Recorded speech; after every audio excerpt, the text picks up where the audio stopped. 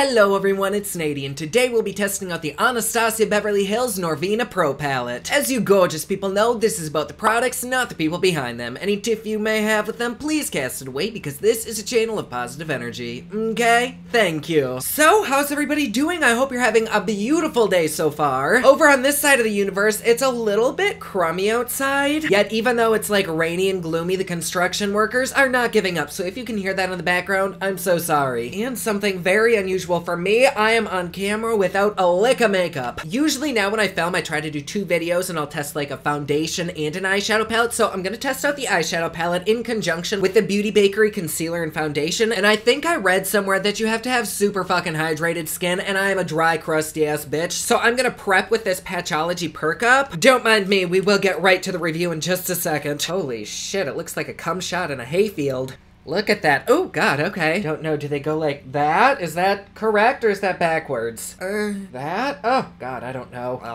God, this is worse than putting on a contact. Ooh, that feels good, though. Very nice. All right, anyway, back to the Norvina palette. I'm so stoked. So, normally I open up trying to look like a snack and holding up the product that I'm going to review, but today I didn't. And that is because I just wanted to show you how Beauty Bay sent my package. Oh my God, I love them. No, this is not sponsored, but I do try to order as much much as I can because if I don't like it, they have a fabulous return policy and shipping is typically really, really quick, like one or two days. So this is what it looks like. It came in a nice big box and then there's a separate box inside. It's very fancy. And then it comes in a package like this, very prettily wrapped. Is prettily a word? I feel like we've had this prettily issue before. I don't know if it's a word or not, but Let's go ahead and open this up. This bitch is kind of girthy, like, oh, damn. Oh, poor Ron is scared of the bubble wrap. Oh, come here, baby. One moment, we must break for my puppy. Oh, he's scared. Oh my God, he's got his tail between his legs. Come here, please. Come here, Ron. Oh my god, this is how I've had to call like all of my boyfriends.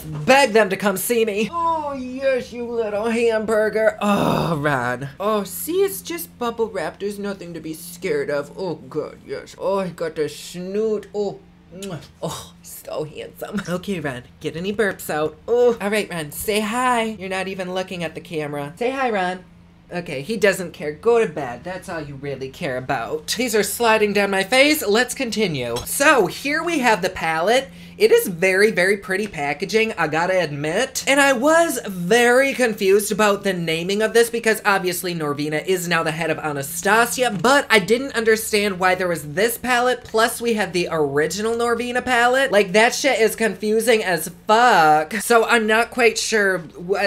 I'm still confused. Like, I know this isn't a pro pigment palette, but just based off the name, maybe I would have called this maybe volume 2. Seeing how we had a volume 1, I don't know know. If anybody really knows the background of that, please let me know down in the comments below. But I'm super pumped because unlike this guy, the new one actually has some really pretty purples in it. This palette was pretty, but it certainly did not quench my thirst for purple. We all know I'm a thirsty bitch. But it looks like in this baby, oh my god, it's very hard to read. I think it says you get 25 deluxe size. Ooh, deluxe size. Anybody who says bigger is not better is a dirty ass liar. Anyways, 25 deluxe sized high performance performance shades for professional grade artistry with maximum payoff. Okay, so that makes a little bit more sense to me because these palettes are very good and I have used them in a professional setting, but this one is actually made for pros, hence the reason it's called a pro pigment palette. So yay, all right. I still don't really understand why it wasn't just the ABH Pro palette, but whatever. And before we hop online and look at the specs of this, let's open this daddy up. All right. Ooh, ooh, oh. This does feel very, very nice. Super good-ish quality. I mean, I think it is acrylic, but this is definitely something that I'd be okay putting in a makeup bag. It feels like it could take a good pounding. Like, she is a sturdy bitch. I do, though, wish that maybe it was metal. I mean, we are paying, what, almost 70 bucks for this? I feel like maybe they could have popped for a tin case, but at the same time, the plastic might actually be a little bit more durable, so I'm not sure. Anyways, let me see if there's anything on the back that we need to know. Looks like this is cruelty-free. They are a recycling lab. This is an 18-month shelf life life. You know, I keep on seeing new little symbols pop up everywhere. I'm not sure what this little face is. I did find out that this one means read the fucking directions, which to me probably means that there's a lot of these that aren't eye safe. That's kind of what a pigment palette is. It's things that aren't technically eye safe, but we all still apply to our eyes anyways. Says dermatologist tested, which doesn't mean a fucking thing. Oh, yes. Okay, Okay, so this teeny tiny little chunk right here is all of the eyeshadows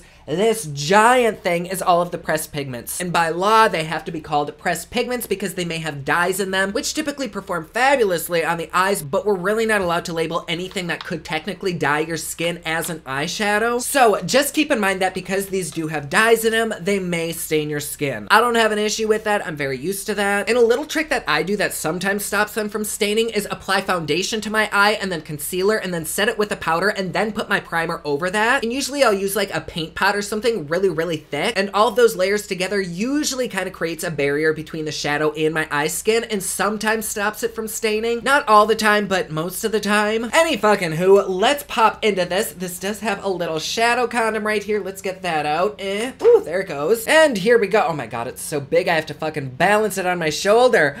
there we go. Wow.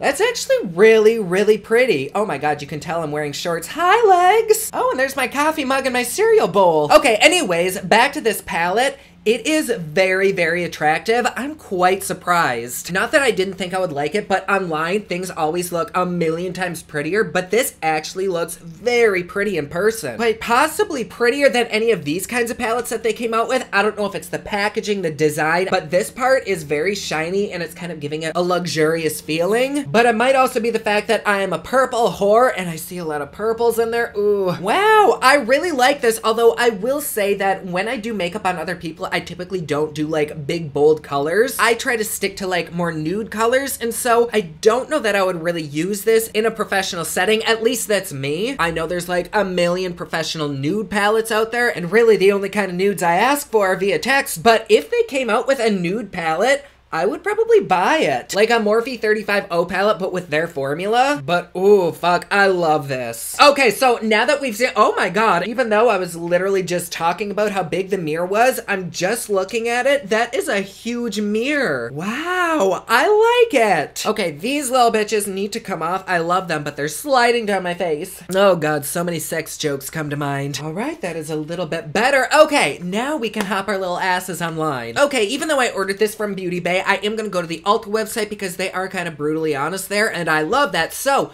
on their website, this retails for $60. Wow. But these pans are quite large, so I do understand the price, and it looks like it has four and a half out of five stars. Fuck me sideways, that is very good. Why you'll love it. This contains 25 pigments, uh, we already read that. Cruelty-free and vegan, yay. How to use, little pressure is needed when picking up the product, that is very good to know. They do suggest that you use the Anastasia primer, which I do not have, I just have my NYX painter pot. Oh, okay. They say apply any of the bright shades to the cheek area as a blush, so maybe that's what the little face logo meant. Mix shades shades together to create your own custom shades. Mist brush with a setting spray after picking up product for a more intense payoff of shimmer and metallic shades. Let's get into the reviews here, starting with the lowest ratings. Made in China, 17 pressed pigments, repeat colors. Are they usually made in China? I thought they were usually made in like France or something. No, these ones are made in the USA. No, this does say made in China. I personally don't give a rat's hole where it's made, as long as the ingredients are safe and the product works fine. But I wonder why this is made in China and this is made here. They keep saying that 17 of the 25 shadows are not intended to be used around the eyes because they are pressed pigments, which a lot of palettes are like that, yet we still use them around the eyes. It's just a legality. This palette is very similar to some of their recent palettes, but the metallics are incredibly gorgeous and the purples are super versatile. Oh, this only has 10 reviews so far. This bitch is new. Okay, so let's move on to the five star. This one says, someone said they were shocked about the amount of pigments in this palette. They must be talking about the one one star, but they did not do their research. This is called a pro pigment palette, so of course there'll be pigments. Yes, they stain, but that's not a con for them. The palette has an amazing color selection, great pan size, amazing formula, beautiful packaging, and they blend very, very well. No fallout whatsoever. No chalkiness. This person was a collector of Anastasia palettes, ending with Norvina. Sadly, they lost all their palettes and won't say why.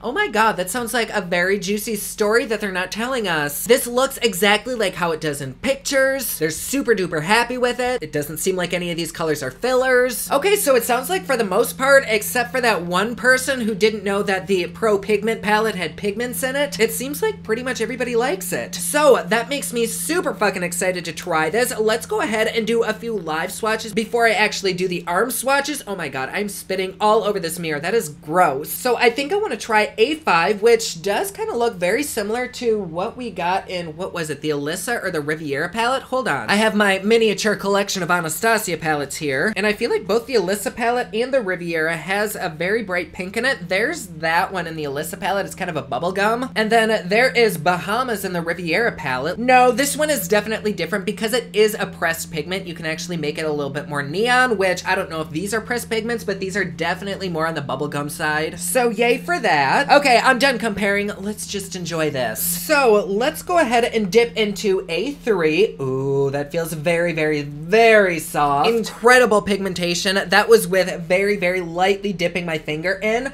Then let's go in with A5. I'm gonna go in super gently. Once again, lots of pigment there. Um, let's try C2. Ooh, oh my god. That is outstanding. And then lastly, maybe do E2?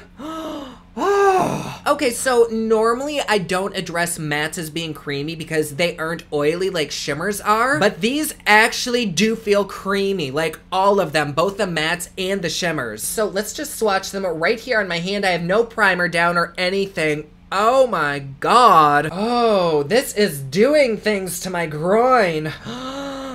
Oh, that is incredible. Holy shit. I have no idea how they perform on a brush. I mean, swatches really don't mean jack shit, but as far as swatching goes, that has me so fucking wet right now. And I promise I do not suck any dick on this channel. Like, if something sucks, I will let you know, but Oh my god. Like, there's no ashiness to them whatsoever. They seem to be sticking to my hand pretty well. Let me give them a little blow.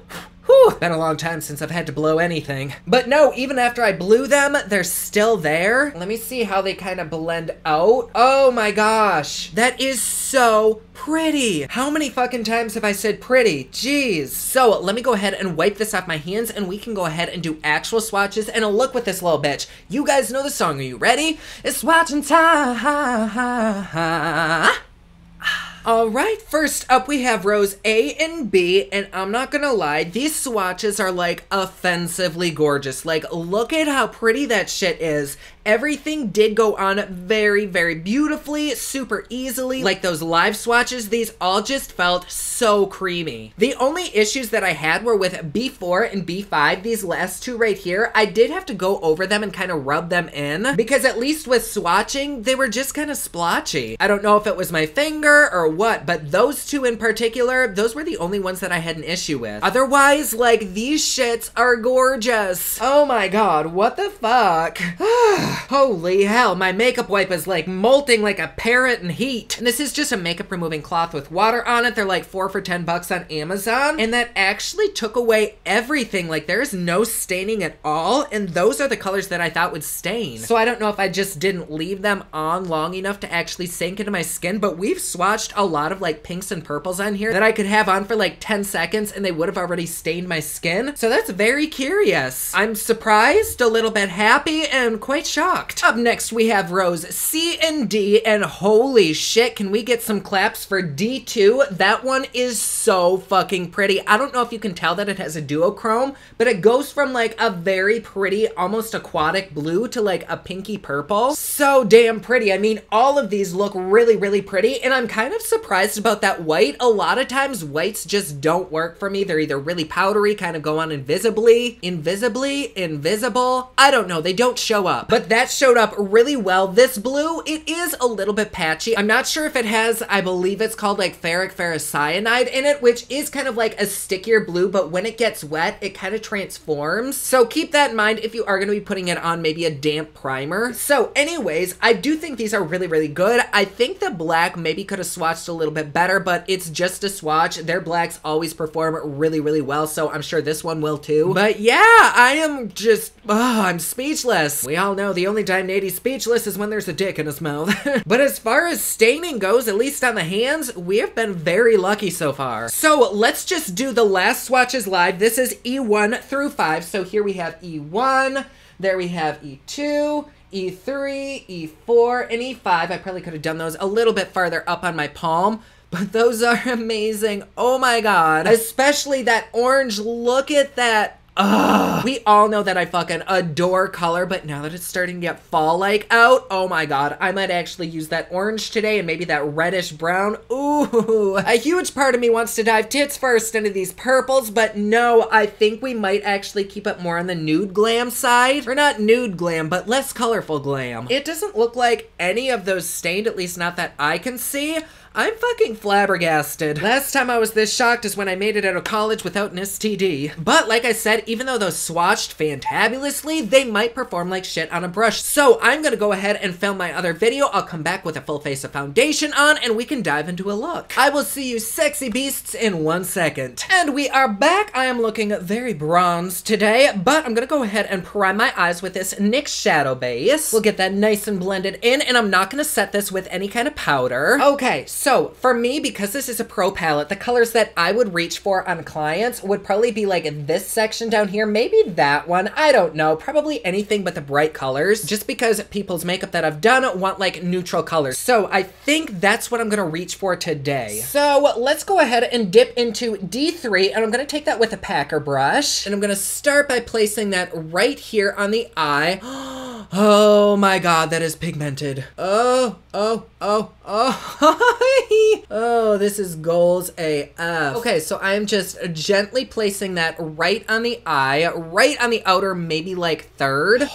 Oh god, this is making me so moist. Okay, between this and their foundation, Anastasia Beverly Hills has been killing it lately. There was a little bit of time there where I was not at all on board with them. They just weren't launching products that I loved, but oh my god, this anyways, I'm going to then dip into this yellow right here, D1, and we're going to smoke that red out. Just right there. I'm hoping it kind of makes a nice orangey color, which it does seem to be. However, that red is just coming right the fuck off. Do you see that bald ass patch right there? What the hell? Maybe I can kind of cover it with a little bit of yellow. Oh, I don't know. Okay, see, that is making a very, very, very pretty orange, but I remember the description saying that you could kind of mix these and create unique colors, so I wanted to see how far we could take that. And you can certainly mix them, but the fact that that red just like came off, that's really weird to me. Because this is a pressed pigment palette, pressed pigments are often way more finicky than normal eyeshadows. And so if you're a beginner to makeup, I don't know that I would recommend this, or at least practice a lot with it before you're gonna like actually wear it out. All right, now I'm gonna go ahead and blend those edges out with a nice clean fluffy brush. Okay, so after we blended, this is what we're left with. I'm gonna go ahead and take off the saturation filter because it always enhances everything. So let's see,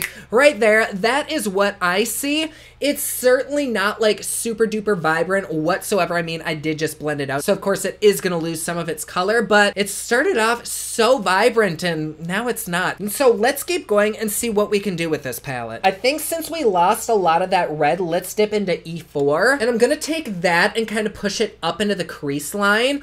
Ooh, that is pretty. And I'll just gently blend it upwards, back and forth. The difference between this palette and normal eyeshadow palettes is that normally with an eyeshadow palette, you can make a nice clean transition when you layer shades. But with this palette, the shades kind of blend together. They're more on the loose side. And so with a normal eyeshadow palette, had I laid that red down and then went over it with this, you'd probably still be able to see a bit of the red. But with this palette, you kind of lost the red and it created an entirely new color, which is not at all a bad thing, but you do kind of need to know a little bit about color theory, maybe what's on the color wheel, because shit is gonna change and it's gonna look totally different, but still really, really pretty. Like, I think that is beautiful. They blend out really, really easily. They don't seem patchy. They apply effortlessly, but do you see what I mean? Where the colors totally blend together? And it's not like eyeshadow palettes don't do that, but with this, it's kind of unavoidable. Like, I would really love to now smoke this out with the yellow, but I know if I add yellow, it's not gonna actually go on yellow. It's gonna turn it orangey. At least I think it will. I don't know. Let's go ahead and try. So let's dip back into D1 and let's lightly go right in the crease crease right here. Oh, yeah, I mean, it is turning orange. I mean, red and yellow is orange, but I feel like I have palettes where it would actually go on yellow and stay yellow. I don't know. It's not like I'm mad about it. You just gotta know what colors make what. Let's dip back into D3 with that same packer brush. Like always, we are probably gonna do a cut crease on this channel. But for those of you who don't like doing cut creases, I kind of want to do a mock cut crease. I'm pretty sure I am gonna cover up all this fucking red, but at least I can show you that you are able to pack this on and get some vibrant ass colors. In fact, I kind of feel like you'd be able to use these shadows to cut your crease with. Like they are that pigmented. I don't think you'd even need a concealer. You might want one though just to help them stick, but still. Okay, I have no idea how it's registering on camera, but do you see that I was able to, with the red, just kind of make a cut crease with just the pigment? It's not the cleanest looking thing in the world. You probably could get it to be clean, but I just wanted to show you that this bitch is so pigmented. So now I'm just gonna kind of blend that out. Oh god, that is so pretty. I kind of don't even wanna do a cut crease and just put like a shimmer over this. Should we do that? Should we break this cycle?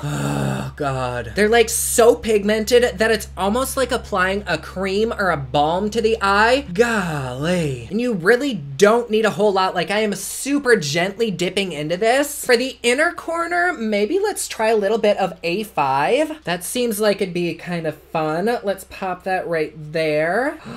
Oh my god, that is way more pigmented than I thought it'd be. Holy shit, why did I not think it'd be pigmented? Hopefully we can get it to blend out a little bit because that looks redonkadonk. Oh, of course it blends out. That is so so pretty. We'll apply way too much to the other side as well. Just for shits and giggles, let's dip into E2, and I'm gonna kind of blend that pink out just up into my eyebrow. I know that is a lot, and this look is like super fucking extra, but I just want to test as many of these shadows as I can for you. Okay, you know what? We are gonna cut the crease. Only because I used so many shadows that the look is kind of turning into a clusterfuck. So that way I'll be able to show you more colors, it'll look better, and I can clean this shit up. Ooh, what color shimmer should we use? I'm kind of feeling E1 right here, so let me dip right in there. Oh god, it picks up on the brush fantastically. I am gonna take that, and then let's go ahead and spray it with some setting spray. This is the Gerard Cosmetics Rich Luxe Setting Spray. We'll see how that goes onto the eyeball. Ooh,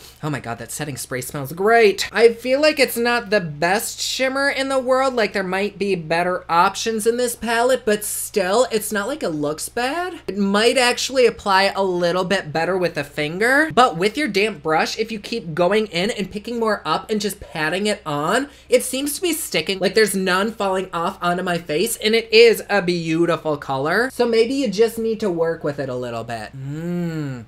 I actually really like that. What do you think? Kind of blend it out a little bit. I think I'm gonna go in with a bit more of that red. And then I think I also want a little bit of C2, so I'm gonna take that right on that brush and apply it to the inner part right there. Because this orange kind of does have a golden shift, so they should go together all right. I think I'm actually gonna cut this a little bit further down. Take a little bit more D3 and place it right here on the outer corner and kind of blend it into that shimmer shimmer ever so gently. Oh my god, this is turning into like a drag queen look. I like it. Blend that out with a little bit more of D1, that really pretty yellow. For the lower lash, let's dive into E4. Just smoke that out everywhere. I love how I was like, oh my god, I'm gonna do a neutral look. it is neutral, but I look like a fucking firebird. And then a little bit of D3, and I'm gonna push that right up into the eyes. I know that I brought this down really, really far, but I'm hoping that I'll be able to smoke the darker shadows out and it'll look good. Anyways, I'm gonna take this red and place it right up against the lashes. I am always down for a nice dramatic look, and this is definitely that. Although for me, this is more like a let's go to the grocery store kind of look. And then before I do anything else to the bottom lash, I'm gonna go in with a MAC Black Kohl Pencil and just put that all up in the waterline. We're gonna smudge that out with a bit more of that red. And then let's also take a tiny bit of D1 right under there to soften that up. And just out of curiosity, I think I wanna take some C1 on a brush just a little bit and kind of rub that into my brow bone just to bring it back. Ooh, yes. That worked perfectly as kind of like a nice little eraser. Maybe let's try some A1 right there as well. I'm not sure how that'll look, but we can try it. Oh,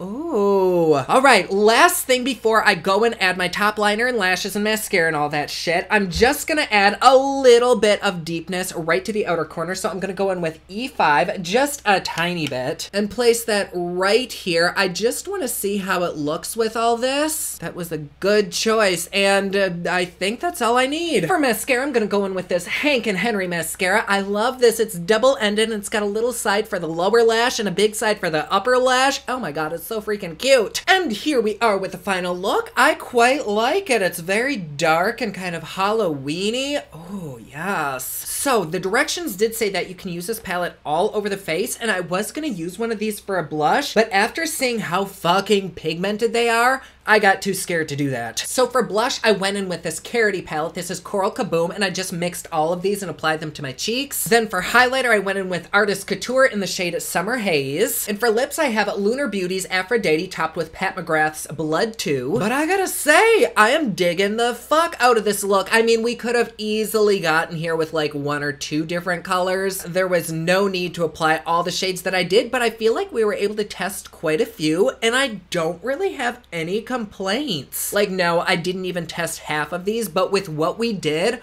holy fuck. Like, I may have found my new all-time favorite palette, and it's an Anastasia palette. Fuck. Oh shit, hold on. I need to spray myself with some setting spray. Here we go. Mmm, mmm, mmm. Smells like oranges. But yes, I've had everything on for probably about four hours now. It is so fucking comfortable on the eyes. Nothing has like bled out. Nothing's like fallen onto my face. My eyelids don't feel heavy. Like there really is nothing for me to bitch about. I guess I wish that orangey shimmer shade had a little bit more oomph to it, but I was able to build it up, especially with that wet brush.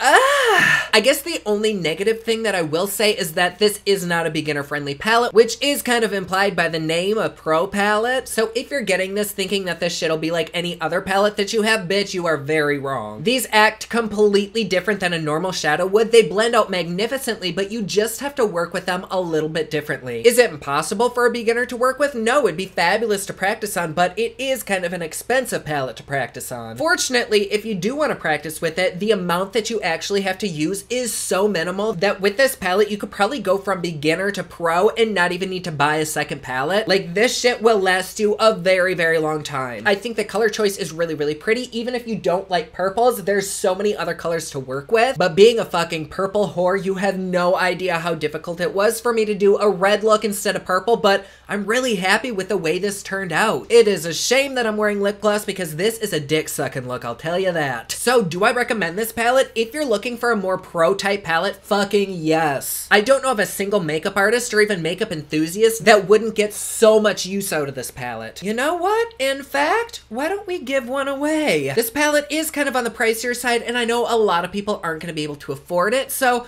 I'd like to gift one of you with one. In addition to this giveaway, I actually have another one going with the Jeffree Star Morphe Artistry Palette and the new set of brushes. So I will put the Rafflecopter link for this down below, but I'll also make one for this palette. Please feel free to enter as long as you're 18 or above, or at least have your parents' consent. But yes, these are both worldwide giveaways. One lucky winner will win this little bitch. Oh, I'm so excited to see what looks they come up with. Like usual, the only one requirement is that you are subscribed to this channel, and please stay subscribed. I love having you in my family. All the other little things you don't have to do, but the more that you do, the more chances you have of winning. What the fuck? I need to close my window more. God damn it. Where is that coming from? What the hell? Oh my god. Gotcha, you bastard. Anyways, good luck to everyone on both giveaways. Back to the review. Do I think it's worth the price? Honestly, I would have been fine paying like twice for this, which I guess now that I'm doing a giveaway, I basically am. But this is a very, very expensive feeling and looking palette. I am totally okay with the price. Like, there are palettes out there that are like $120 that I don't think perform nearly as well as this, that don't have as good of a color selection so oh my god, I'm very happy. But yes, I'm just gonna go and feel myself with this look. Not really like feel myself, I'm just gonna go stare at myself in the mirror for a little while. Like always, please be sure to subscribe and hit that notification bell down below so that you're notified anytime I upload a new video. Don't forget my newest collection of highlighters, including Black Ice, which does change from black to white, is available at thepopluxe.com. Also, my latest album, Kiss of Fame, is available everywhere online that music is sold. Thank you so much to everyone who's supporting them.